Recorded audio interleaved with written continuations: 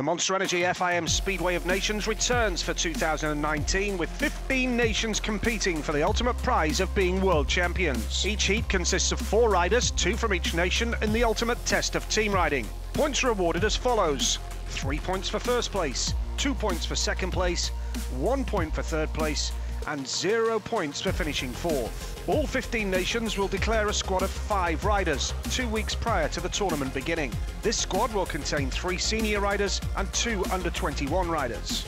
Two weeks before a race meeting, the seven nations competing will have to declare the riders that will ride in that event. This must contain two senior riders and an under 21 rider.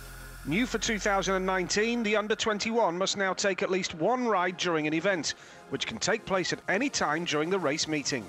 Seven nations will compete in two race-off events at separate locations. Landshut in Germany will host Race-Off 1 on the 4th of May, while Manchester in Great Britain will host Race-Off 2 on the 11th of May. Russia will automatically qualify for the finals as the host of the finals.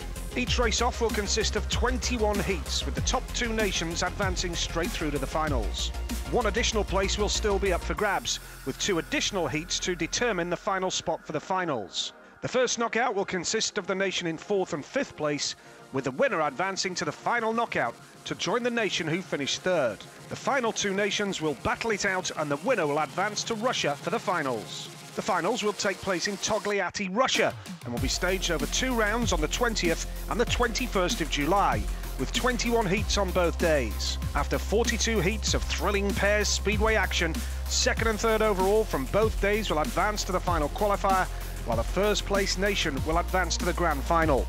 The winning nation of the final qualifier will advance to the grand final, with the winning nation of the grand final becoming world champions. In the event of a tie in the grand final, a runoff will take place with the team manager selecting one rider and competing in a 1v1 against the opposing nation. The winner of this runoff will be crowned world champions. There's a lot to look forward to with the 2019 Monster Energy FIM Speedway of Nations. For tickets and more information on the competition, visit speedwayofnations.com.